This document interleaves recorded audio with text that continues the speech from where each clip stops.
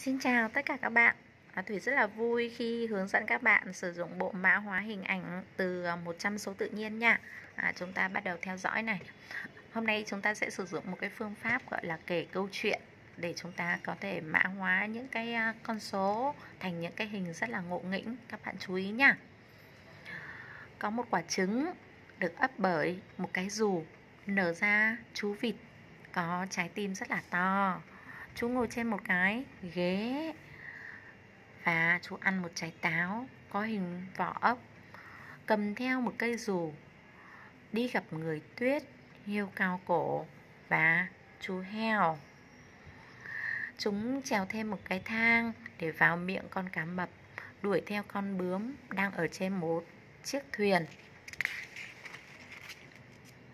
Oh, phát hiện thấy một bọc tiền có rất là nhiều con ốc sên đang nhảy trên những cái nốt nhạc.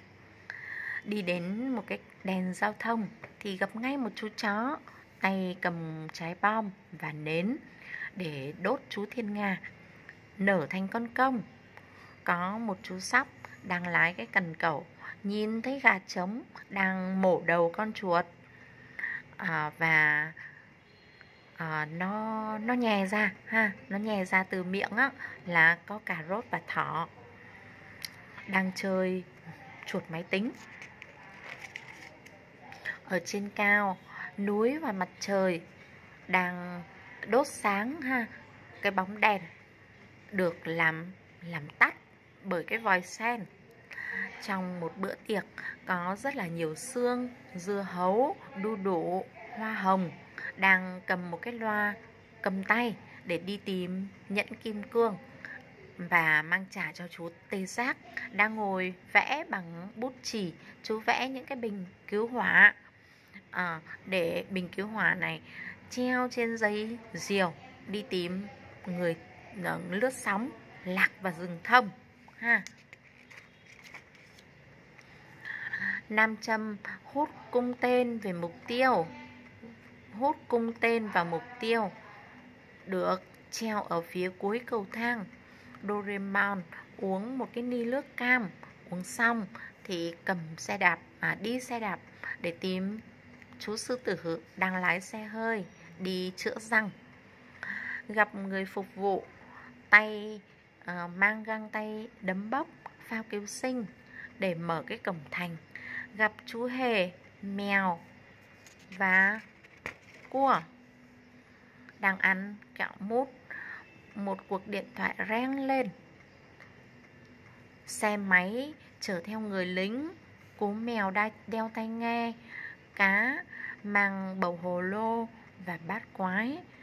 Một trái sầu riêng có in hình lá cờ để bắt con ma.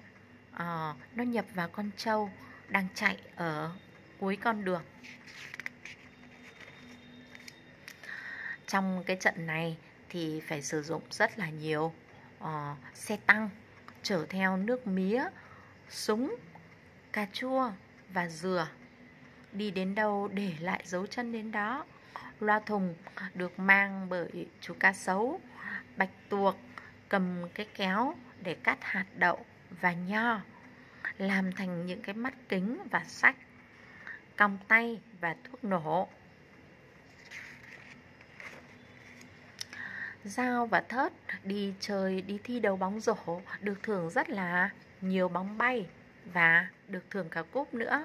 À, ở gốc cây thì có bác sĩ đang đánh trống, dê, ong và hoa chơi vượt cầu lông.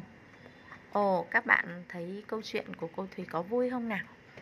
À, chúc các bạn có nhiều cái sự tưởng tượng thật là vui nha và các bạn kể những cái câu chuyện của các bạn ở dưới ờ, video này được không nào?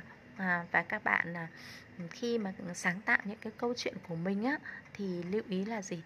Càng ngộ nghĩnh càng ờ, ờ, phi lý thì lại càng tuyệt vời nha. À, chúc các bạn chơi vui và hẹn gặp lại cho, các bạn trong video sau.